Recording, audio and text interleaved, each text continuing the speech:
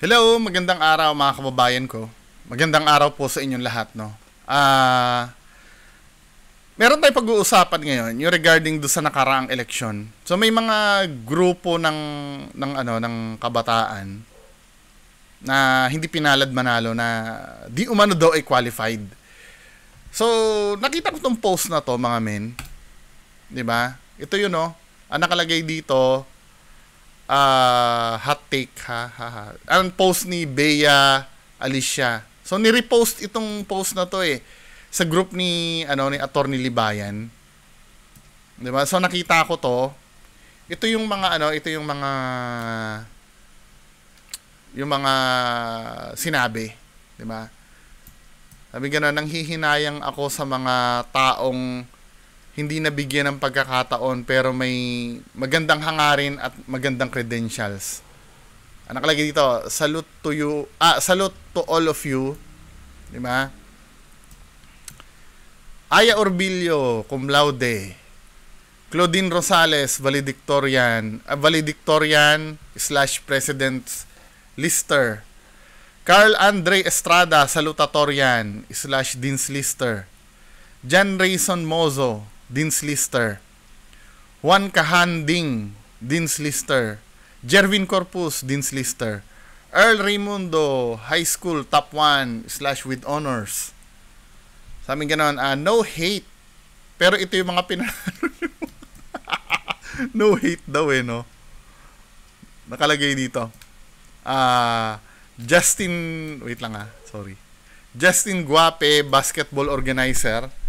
Irish Bonsilao, uh, pageant title holder, Rap bon- Bulisay, varsity player, Pati Carlos Lacambini, Edsel Melanio, makeup contest, second prize. So, nakalagay naman dito, congrats Kim Yuri, Shaira Cruz, and Juliana, deserve yung manalo dahil sa credentials nyo. Parang, ano yata to, men? Parang masyado naman to. Ito ha, ito, ito, ito yung opinion ko dito tungkol dito sa ano. Sa akin, hindi naman maganda to. I mean, para namang nanghahama kayo ng tao. Pero sa kabilang banda, no? Sa kabilang banda, kung hindi mo naman gagawin talaga, hindi tayo matututo. I have nothing against din dun sa mga ano, dun sa mga nanalo, no? Hindi ko naman sila kilala para husgahan agad. 'Di ba? Wala naman silang pambubudol na ginawa online kasi ako ah, nagdedebang ako ng mga budol online eh. 'Di ba? Hindi ko pa naman sila kilala, wala akong alam sa mga ginawa nila, pero I'm sure may reason kung bakit sila nanalo. 'Di ba? Isa-isa ko ni-research tong mga ano eh. Itong mga account na ito eh, si Justin Guape, basketball organizer. Oh, ano nga siya, bowler talaga to Si, pero dun sa pagiging uh, basketball organizer niya, hindi naman siya magiging organizer kung wala siyang ano, wala siyang karisma or wala siyang uh, K, kakayanan, 'di ba? Tapos si Irish Bonsilao, pageant title holder. Ano yata to LGBT yata to si Ma'am Irish Bonsilao eh. Nakita ko yung profile niya, nakalock eh, pero hindi ko masyadong ano. Ito si Rap Bolisay naman, varsity player daw. 'Di ba? Pati Carlos Lacambini. Ito uh, beauty contest something to. At uh, yung pagiging Lacambini naman kasi katulad ditong pageant title holder Lacambini. Nakamtan din naman nila yung title na yan dahil may talino sila. Kasi malaking part ng beauty contest talaga yung brain eh. 'Di ba? Yung mga ano, tapos tong Edsel Milanyo, hindi ko tumahanap eh. May nakikita ko pero hindi naman siyang makeup, hindi naman siya mukhang makeup artist. 'Di ba? Then ito, itong mga mini-mention na to, sinearch ko yung ano eh. Ito yan eh, kislap kayo to, 'di ba? 'Di ba? Itong mga ganitong sa perfect na ano, sa perfect na na SK, ako I do agree, ito rin yung ano, ito rin yung dapat sana manalo. Kung totoo man itong ano, ayoko naman sabihin na, na hindi totoo, pero feeling ko naman niyo naman dadaldal yan kung wala naman kayong balak sanang gawin yan, di ba? Kaya, kasi ito, nakikita ko, impressive yung platform nyo dito, men eh. Impressive talaga eh. Binasa ko to, e-library learning hub, libreng print, bote kapalit. 'Di ba? Ang ganda ng mga program nila oh. Edukasyon, student center education, student leadership, connect biz, oportunidad, 'di ba? Paglikha ng job placement program, Parawise, career organization program. 'Di ba? Ang dami yung ano, kaya lang nami-miss nyo yung point men eh. May nami-miss kayong point dito eh. Bago natin pag-usapan yan, ano, may, ano ako, may, may, may ikukwento ako sa inyo.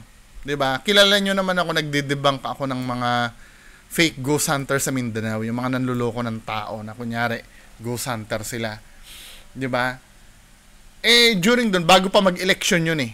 Hindi pa nag-election, 'di ba? May kinausap akong wala akong mahanap kasi talaga kasi lahat ng kontakin ko hindi ako nire-replyan.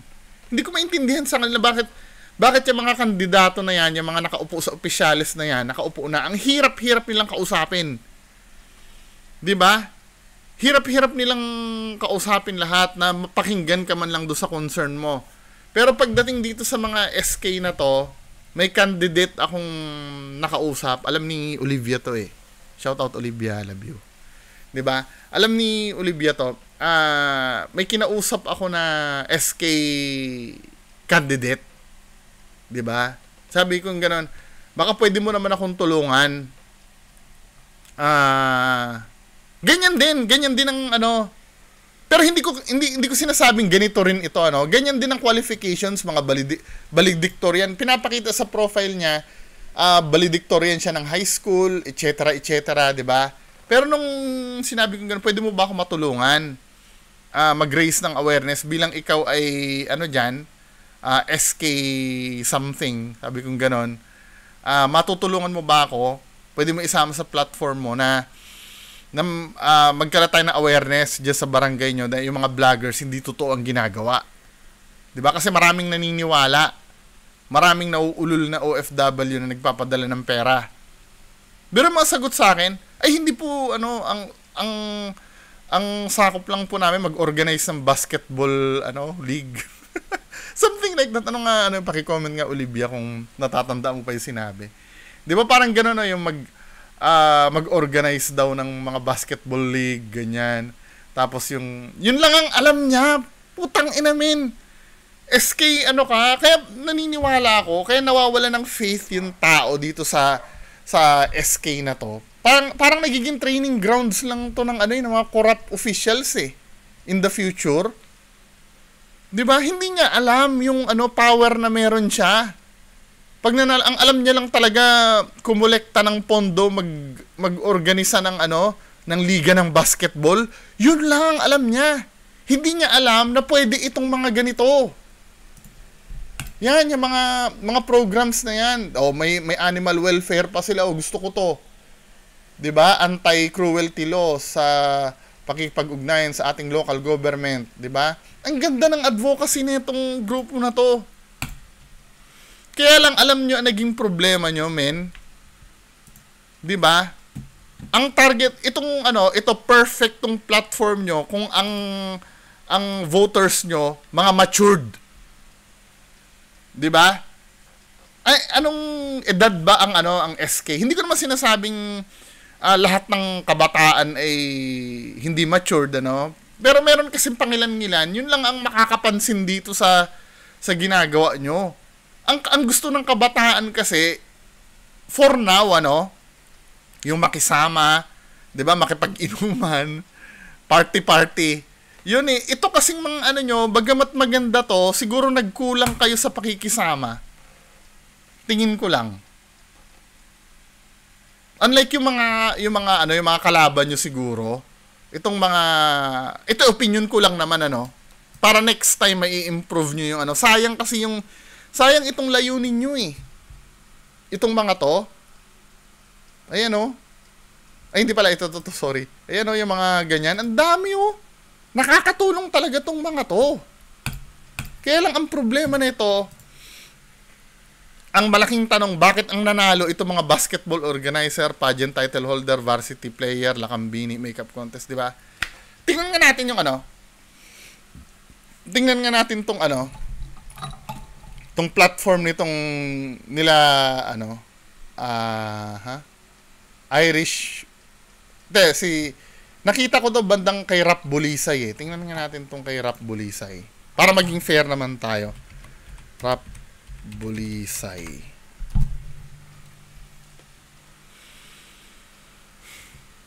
So, ito, uh, ah, CCAP. Ito yung party list nila, CCAP. Tingnan nga natin. Ano ba ang meron dito sa ano na to? So, ito yung mga nanalo, ano? Ah, ano pala ng kapitan ni? Eh. Ah, hindi. Baka candidate din nila to, no? Tong kapitan. Tingnan nga natin.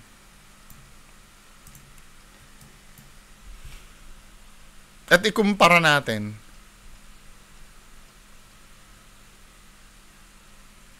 Anong ilulunsad ni SK aspirant uh, Jan Benjamin Totoy? Nanalo ba to? Jan Benjamin. Mukhang hindi nanalo to ano youth development la education, ito may ano sila.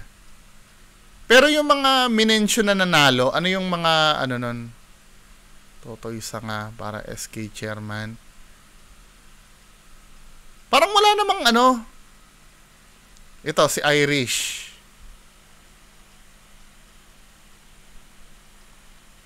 Bonsilao.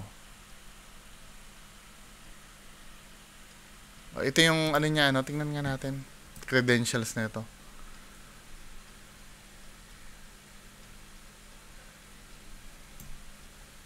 Okay.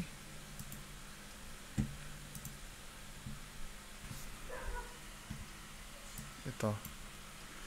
Kilalanin natin si SK Kagawad aspirant uh, Irish, isa sa mga leader ng kabataan na may may puso sa paglilingkod. Taglay niya ang angking katangian sinseridad walang kaparis uh, yung kasama si Ronald Irish tong kabataang garantisadong magsisikap. Wala, wala siyang ano min. Platform nyo, ano yung platform? Ito, ito ano ito achievement nito? Champion volleyball team. First place makeup contest. Ah, honor student din naman kayo naman, 'di ba?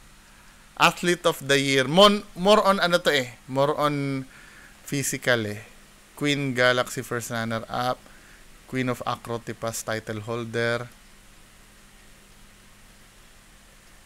Member of Unggoys. Ah, Unggays.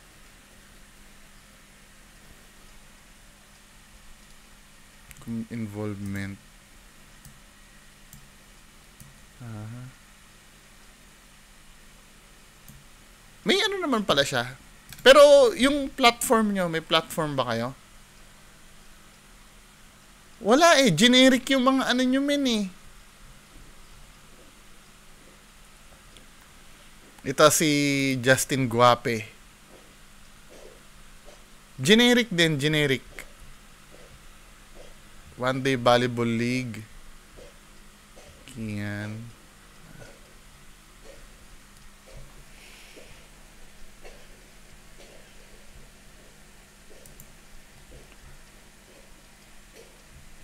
Yung gusto ko yung ano, yung... Ito, ito ba yung chairman nila? Ay, hindi. Ano ba to Kagawad din to. Ah, kagawad. Si, ano... Ano name niya to? Shaira Eliza, ano, Polytechnic. Oh, P... Uh, PUP. Ito! Shaira Alisay Elia. Sino, sino ba yung mga minention dito na nanalo? Ito, si Shaira Cruz. O, oh, kasama siya. Shaira Cruz ba o to? Kim Yuri and Juliana. Oh, ano naman pala to eh. Nana, kaya siya nanalo. Okay pala to si Shaira. Sino pa ba yung... Kaya lang ang problema dito, no? Wala silang malinaw na platform.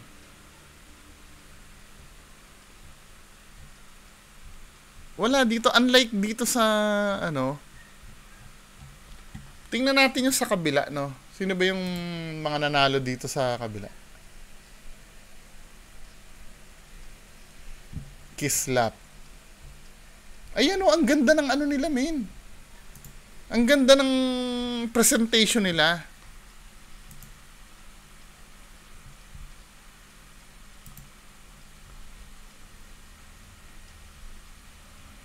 Kagawad. Juliana, ito nanalo. Sino pa ba yung nanalo sa kanila? Juliana. Kim Yuri. Si Kim Yuri, ano ba yon? Ah, ito na nanalo. Chairwoman si Kim Yuri. At least nanalo yung chairwoman nyo. At least nanalo.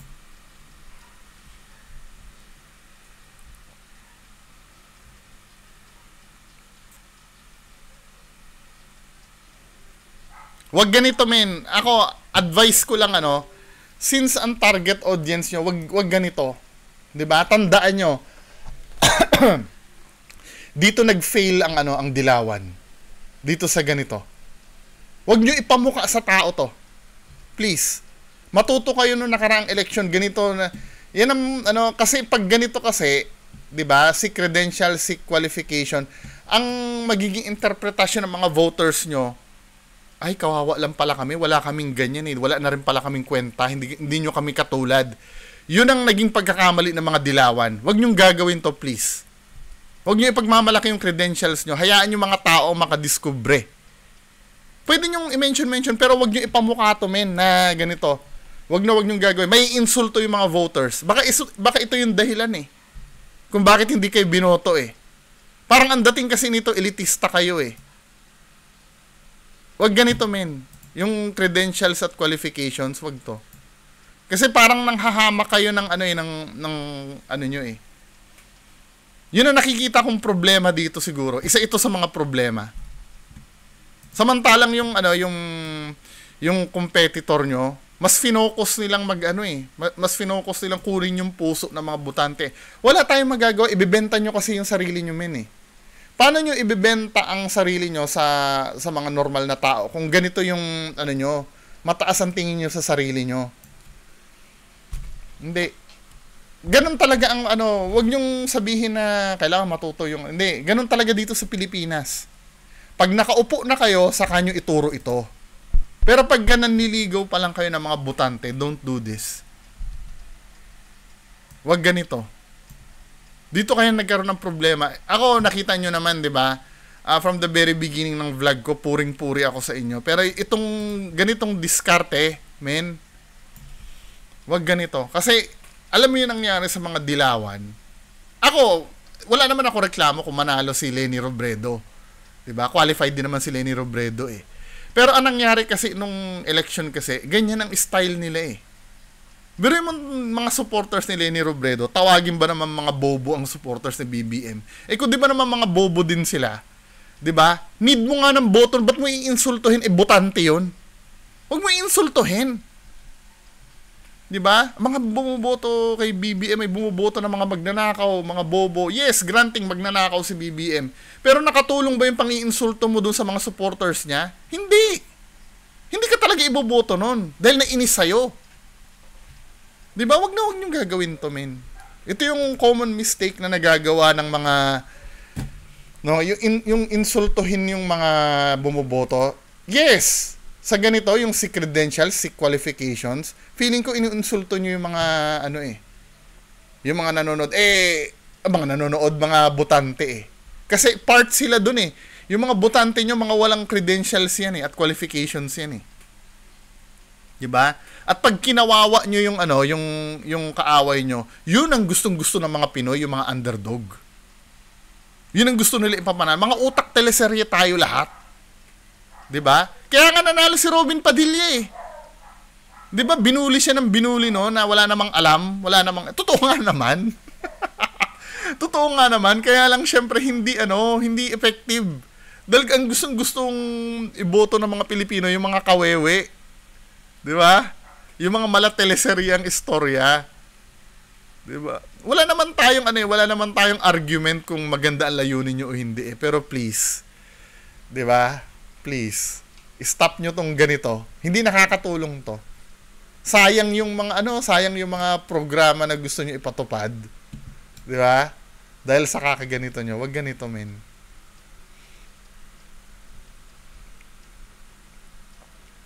Di ba? Ang ganda ng ginagawa nyo, oh. No? Tsaka mukha naman kay Edu. Kaya lang, uh, nami-miss nyo yung ano eh, nami-miss nyo yung uh, yung essence ng pagiging politicians eh. 'Di ba? Nami-miss nyo 'yon. Hindi nyo ang politics ay hindi lang about credentials kasi kayang ila, ilang paso ng walang credential ang kahit sinong matalino. Pat na proven na yan, men. Proven na yan dito sa politics dito sa atin. Number one dito, pakikisama talaga. Kahit wala kang ang binubuga eh, basta kilalang kilala ka. Kahit wala ka namang alam. Example nga si Robin Padilla, di ba?